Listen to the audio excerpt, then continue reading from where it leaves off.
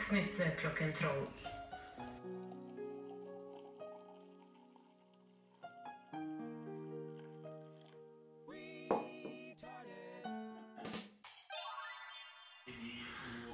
Riktig god mandag.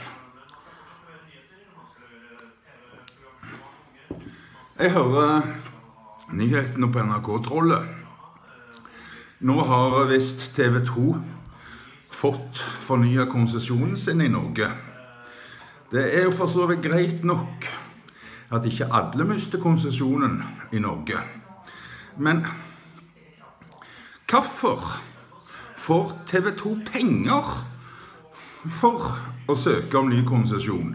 Altså Det normale er at det koster penger å søke om en konsesjon. At du betaler en konsesjonsavgift. Og her skal da staten betale TV 2 for å drive kommersiell TV. Det er det galneste jeg har hørt på lenge. Og så er det en sinnssyk forskjellsbehandling. Altså, vi drev Norges mest kultur... Altså, Den beste kulturkanalen i hele Norge, den drev med. Den het RTV. Og vi ble fratatt konsesjonen. Og vi fikk ingen støtte. Vi betalte alle regningene sjøl. Dette er sinnssvakt urettferdig. TV 2 må ikke få statsstøtte når ikke RTV engang fikk beholde konsesjonen. Altså Nå har vi jo kommet i en sånn situasjon at nå må jo noe, noe gjøres, da.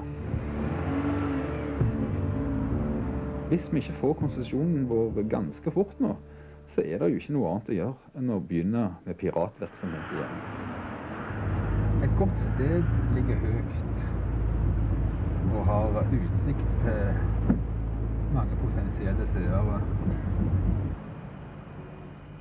Hvis eh, vi står overfor et mobilt, eh, en mobilsender, da har vi jo et lite problem, da. Og, og, da kan det bli aktuelt, vil jeg tippe på, i ekstreme tilfeller, å tilkalle forsterkninger. Det var jo sånn de jobba under krigen òg, for å finne disse her eh, sabotørene. Like så viktig som uh, plasseringen høyde er det vel egentlig òg å ha mulighet til å komme seg vekk. Hadde du kjørt opp der? Ja, kan jeg få kjøre forbi Ja, det som fremgår denne kringkastingsloven, det er bøter eller fengsel inntil seks måneder for overtredelse av denne loven.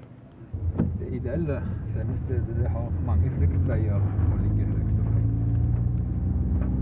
Det jeg tenkte vi skulle kjøre nå, det har ikke det, så det er sikkert redusert.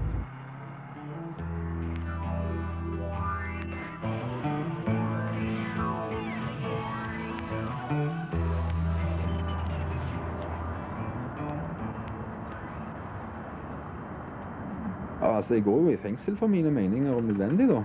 Jeg gjør det. Jeg eh, er villig til å benytte meg av piratsendinger, som jeg gjorde for 18 år siden. Politiet i Stavanger pågrep i går kveld fire mennesker mistenkt for å drive med ulovlige radiosendinger. Sendingene, som pågikk i hele går, forstyrret bl.a. instrumentene på Sola lufthavn. Det er Grunnlovens paragraf 100 som helt tydelig slår fast at det skal være ytringsfrihet i Norge. Og det er ikke mulig for meg å få ytre meg noen plass. Riktignok får jeg lov til å si dette inn i dette kameraet her. Men det er òg første gang jeg får lov å snakke til et kamera på over to år, faktisk. det. Det er jo selvfølgelig umulig for hver mann å ha sin egen TV-kanal, for at du skal jo fylle den sendetiden med programmer, da. Og derfor oppretter vi ETV.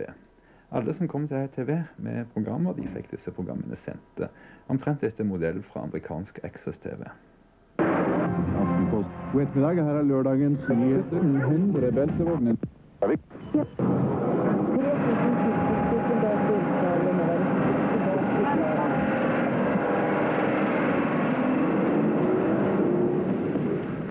Vi pleier å si det sånn Velkommen til en velfortjent hvil, ETV.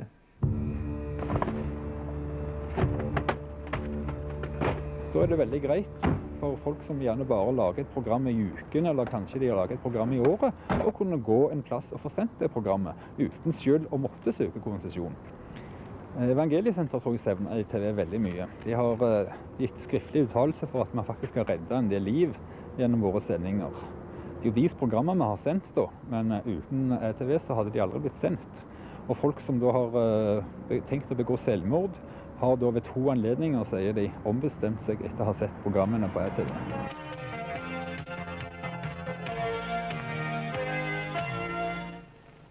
En tilflukt for den utslåtte, evangeliesenteret. Vi har uh, mottatt uh, en veldig respons på det. Uh, folk som har sett programmet fra Evangeliesenter TV, og folk som er i nød, har rusproblem, trenger hjelp. Som, eh, som ikke har kjent til oss, faktisk. Men de har blitt kjent med oss med gjennom TV Da. Og, og da er vi jo veldig takknemlige hvis vi kan få sende dette gratis. Sånn at vi når folk som er i nød. Det er jo det vi ønsker. Vi ønsker jo ikke å, å, å være på TV for vår egen skyld, for oss å si det sånn. Her inne her har det skjedd mye galskap. Her har vi hatt uh, et helt band. Hele ingenting hadde vi her. Med ja, hele bandet med instrumenter, og vi gjorde en trekameraproduksjon, så det var tre kameramann i dette lille lokalet her.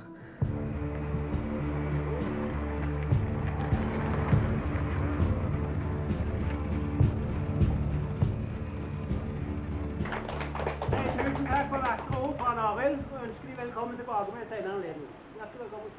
Det er en belastning. At eh, min seriøsitet skal bli redusert pga. at jeg sender programmer som andre har lagd. Pga. at jeg velger å sende programmer for det om eh, vi velger en annen kvalitetsstandard enn det NRK gjør.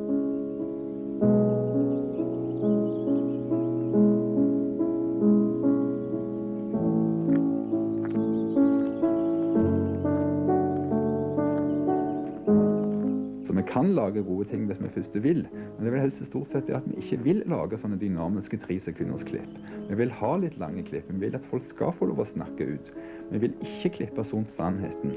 Vi vil at folk skal få snakke til punktum og få utdype sannheten. Og da blir det gjerne litt langt, men det er bedre det enn at du sitter med 30 sekunder med løgn.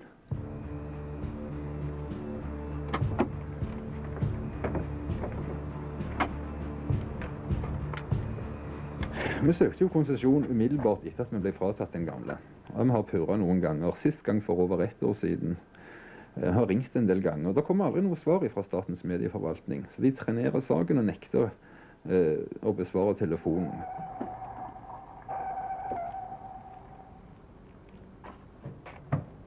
Det som jo skjedde, var at eh, Åse Kleveland fikk en sånn fiks idé. Sa at nå skal det kun være én lokal-TV i hver region.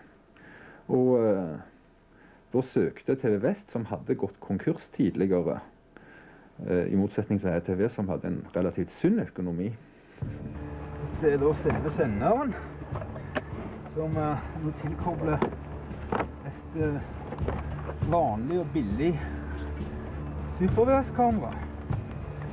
Det er for at eh, den totale verdien skal være veldig begrensa hvis noe udemokratisk skulle skje.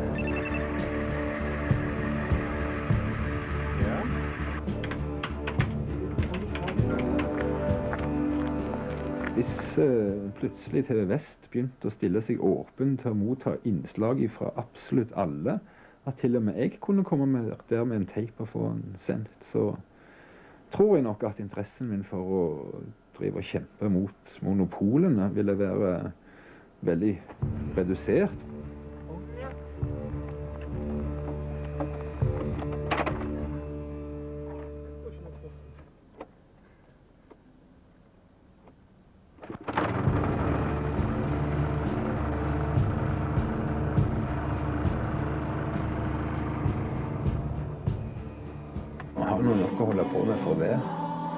Så mye gammel teip å gå gjennom og sortere og katalogisere at det er helt utrolig. Pluss det produserer jo en del innslag fremdeles. Først og fremst for amerikansk TV. Det meste vi produserer nå, blir bare vist i Statene. En av de som har fått eksportert litt, er jo Flammehunden tid'. Den er da Dette er fra Aftenbladet, og det er VG og Rogalands Avis. Suksess i USA. Millioner har sett Flammehunden Kid.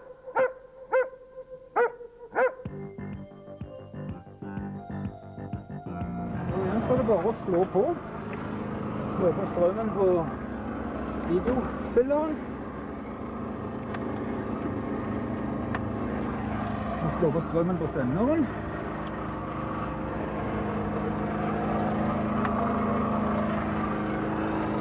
Så kan vi starte et program som har noe å stille inn etter. Det var NRK. Nei, det var TV 2.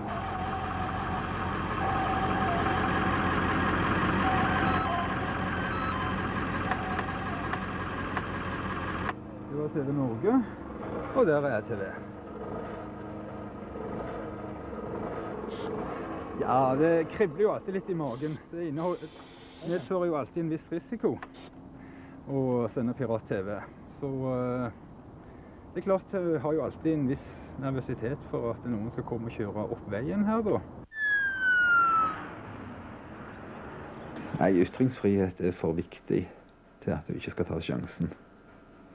Og jeg syns jo at offeret er ikke så stort, da. Og det er litt slit, altså. Det er klart det er en belastning, men uh, sånn i forhold til utbytte så er ikke offeret for stort. Straffen er ikke streng, men bøtene er høye, for å si det sånn. Men så er det jo dette her med at vi skal følge våre lands lover. Men så, så vet jeg fra Bibelen at det hendte at, eh, at disiplene òg brøt loven. Og, og når fariseerne skulle ta dem, så forsvarte Jesus dem. Så eh, jeg går ut ifra at eh, hvis jeg skulle bli fengsla, at Amnesty International har tenkt å engasjere seg i den saken. Så eh, jeg regner ikke med at de blir sittende inne i fengsel så veldig lenge. Men tar gjerne sjansen.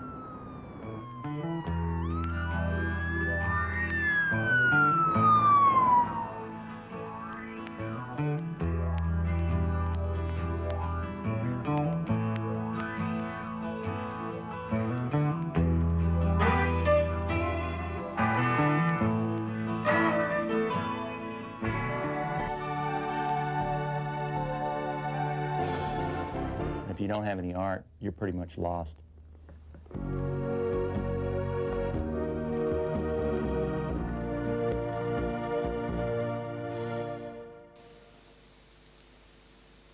And I wrote this song about America. It's called In the States. Charlie will take us off to another world.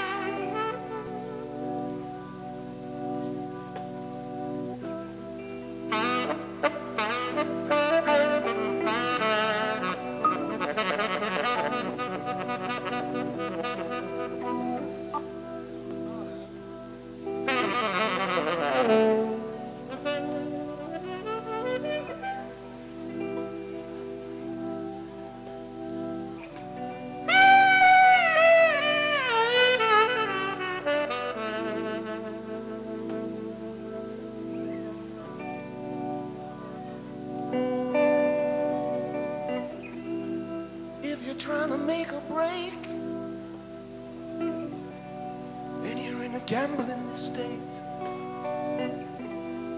But if you're only on the take, don't ever state your mind.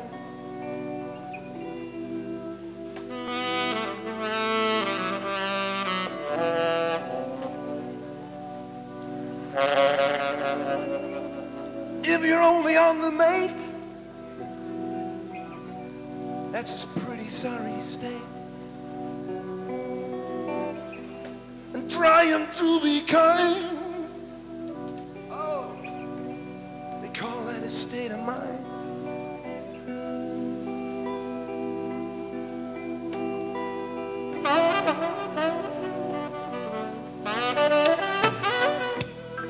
Tell me about the state of the future. Pick any state you like. If you want to be in a state, that's a big choice you gotta take.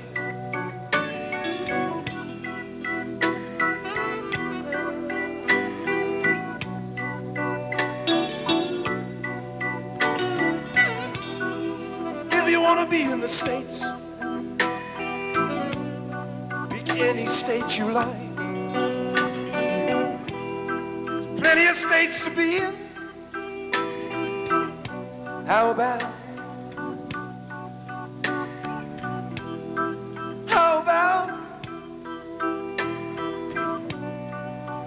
about the state of mankind?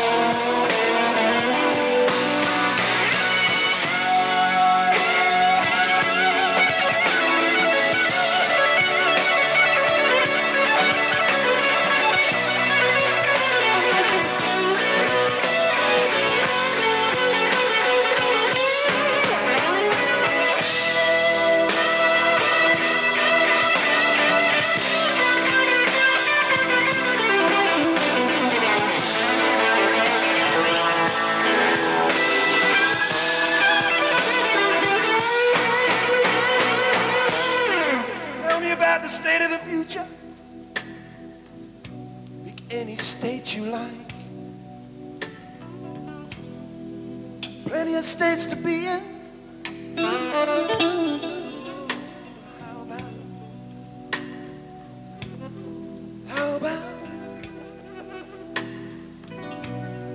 How about the state of mankind?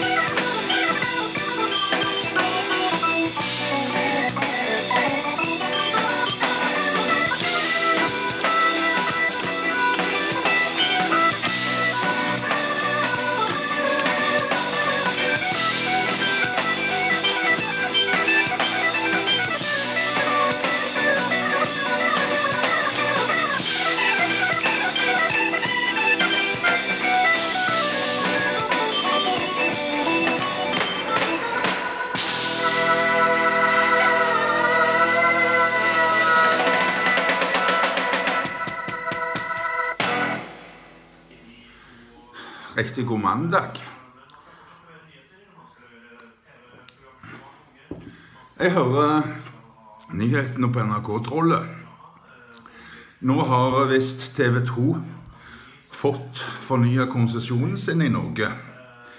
Det er jo for så vidt greit nok at ikke alle mister konsesjonen i Norge. Men hvorfor får TV 2 penger for å søke om ny konsesjon? Altså Det normale er at det koster penger å søke om en konsesjon. At du betaler en konsesjonsavgift. Og her skal da staten betale TV 2 for å drive kommersiell TV. Det er det galneste jeg har hørt på lenge. Og så er det en sinnssyk forskjellsbehandling. Altså, vi drev Norges mest kultur... Altså, den beste kulturkanalen i hele Norge, den drev med, Den het RTV. Og vi ble fratatt konsesjonen.